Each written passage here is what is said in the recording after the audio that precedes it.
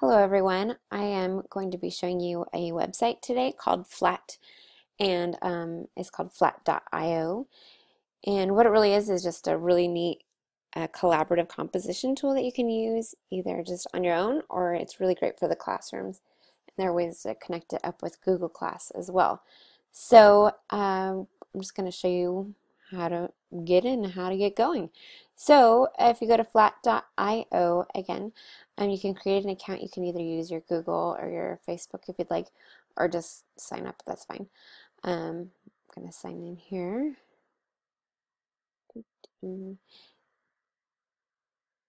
And uh, what I really like about this website is it's very, very user friendly. So I figured out a matter of these things in just moments. And I'm no genius, so you guys can totally do this. And the website's really easily set up. So um, I'm just going to go through a couple things before I show you the composition tools. Um, first, in the top left is a Discover um, tab. And what that has is where everybody can share their compositions. Now, you don't have to. It's something you could set to either private or public. So if you're using it as an educational setting, you might want to keep it private but students can create and collaborate and see other people's things. If you hover over it, it'll show you, um, play a little preview for it for you. I don't think it'll play it on this recording. Um, but you can click on any of these options and um, you can see what the score looks like and you can download it and um, export it in a lot of different ways and I'll show you how to do that in just a second here. Now the nice thing about this tool, Flat, is that it's all web-based. You don't have to download any program or anything. And you could use it, you know, jumping from computer to computer, just logging into your account. The only thing that is a negative with that is that sometimes it takes a little longer to upload, um, just depending on the computer speed and the site support. So, but that happens when your home computer is slow too. So I think it's fine. Um, so here's what it'll do. It'll open up whatever this person created and you can look at it. Um, and they can set if you can change it or not. Um, this person does not want you to mess with their items. That's fine. But if I wanted to print it out or save it or share it with a friend, I could do that. Um, there's tools over here. If I wanted to export it, it'll open up a bunch of different options of how I could save it. That's what I really like is um, PDF, MIDI, MP3s, WAV, MX, MXL or XML. So whatever you need, like if in a classroom you wanted to post the PDF and then just put the MIDI file right there or the MP3 and whatever you need to use, um, it's really accessible and really easy just to grab those and share them. so that's kind of that side of the the Discover tab. You can look through that, spend hours doing that if you'd like on your own free time. But I'm going to go ahead and show you the kind of the help tool that will walk people through this. Most people, students, I'm guessing, will just kind of figure it out until they get stuck. Then they might need this. This support, there's a knowledge base, and as you can see, there's a ton of different things you might need to know. Like, oh, my teacher says I need to slur these notes. How do I do that? Up pops a window. You could just see how to do it, and there you go. Click, drag, pull, a lot of it's pretty intuitive, but again, if not, has tons of windows and options that will help you learn. And I like the pictures. I'm a visual learner. so if I go back home, it'll have my account. You can change your your name, your username, um, and what people see. And I've created a few things here, but let me show you how to create your own new thing new music scores. So let's say I'm doing a song here. Type in the title. You can pick all your instruments. You could do just one instrument, like piano, or you can pick a bunch of different things. Alto flute, you know, never need enough of those. Cat meows. Okay, there's real instruments too, like a choir synthesizer. Anyways, select whatever you want. That's fine. And um, you can edit here if you have second thoughts. That's fine. I think you can change it later too. Select your key signature. There you go, of flat, why not? Time signature, you can change that to a ton of different things. Um, 3, 3, whatever. start to compose. Now, a lot of this is really intuitive, um, but if not, your support options right there. So you just kind of basically click and then plunk them in. You could do um, notes on top of each other really easily, which I like.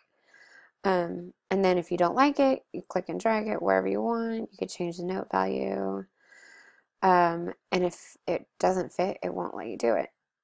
And your music teacher will explain why. Um, if you want to transpose anything, you can do that here. I'll let you figure that out. You could do articulations of all sorts. Dynamics, that's important. You can change the clefs. Um, you can just kind of drag those in here. Key signatures, all those things, add repeats, first and second endings. You can do pretty much everything you'd ever need. And um, the designer of this website likes feedback, and I've already noticed some changes just in the last couple months I've been looking at it, which have been good. So keep those coming. Um, if you want to write lyrics, I think that's a new feature you can type in right here. Um, the lyrics, the chords, you can just drop them in. Um, I think it actually does it. Oh, like if I, no, used to be different. Well, there you go. Things change. They probably know what they're doing though. That's okay. Um, if you decided you want to change your instrument set here, you could do that. Like, um, I don't want the cat meow. That's weird.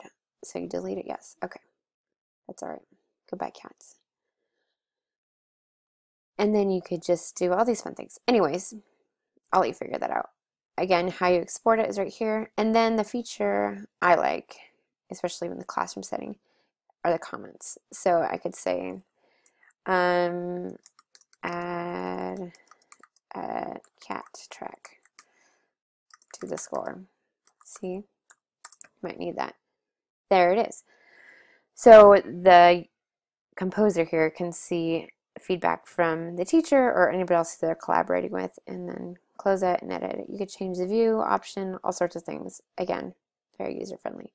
So if I want to go back to my compositions, I want to show you one that uh, I thought would be useful for the classroom. Uh, if they're going over the scales and the student's just struggling with it and they need a little more focus on that, you can go ahead and put like uh, C scale and then put in the directions. Copy the sample from the first line in the space provided. So what the student will have to do is just share that plunk, plunk, plunk, plunk, plunk, and then um, send it, save it, and then send it to you in either your class through email or save it as a PDF. Or again, there are capabilities for Google Class as well, just to drop it exactly right into the class, which is fantastic if you're into that sort of thing. Um, and the last thing I'm going to have you guys help me out with, if you don't mind, is I've created a collaborative song here called Collaborative Blues in C. And what I've done is I've created a bunch of tracks, and I'll just read the directions really quickly. Uh, choose an instrument and fill in your part. Simple, uh, simple or complicated. It will be a creative collaboration of chaos, probably. Uh, make sure you follow the chords, if you know what that means for the C major blues and feel free to comment and help each other out with ideas or adjustments. Try to let the track owner change their line only. Please comment with, below with your name. So the idea being you say, hey, my name is Mrs. Lopez. I want to do the Hammond organ. I called dibs on that. So whatever, you add it, put it in. Um, I put a bunch of instruments in here. If we need more, I can add more or take them away. Um, drum set is a little tricky trying to figure out how to put those notes in, but um, not any harder than most programs actually. Um, and then you just go for it. So I'm excited about this and to see what everyone comes up with, and I want to hear what everyone thinks. Is this fun? Is this not fun?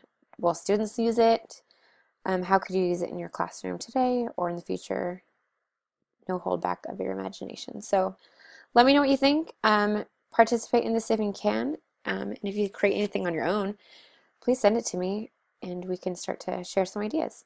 So again, this is flat.io is a website, F-L-A-T dot I-O, and I hope you enjoy. Thanks.